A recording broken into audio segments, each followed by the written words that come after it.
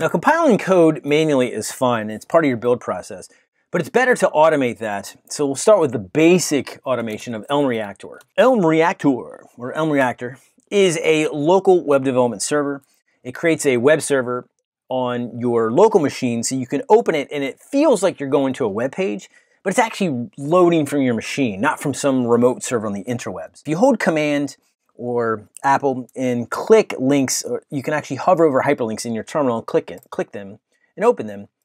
And in our case, we're going to go to localhost 8000. And at localhost 8000, this Elm reactor will show your current project, what dependencies it has, reading from the Elm JSON.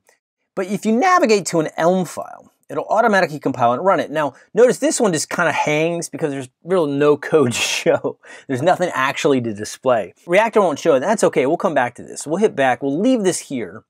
I'm going to go over here for a minute and close this. You do Control C to stop it. I'll, let's go ahead and add some code to make Elm Reactor actually show something.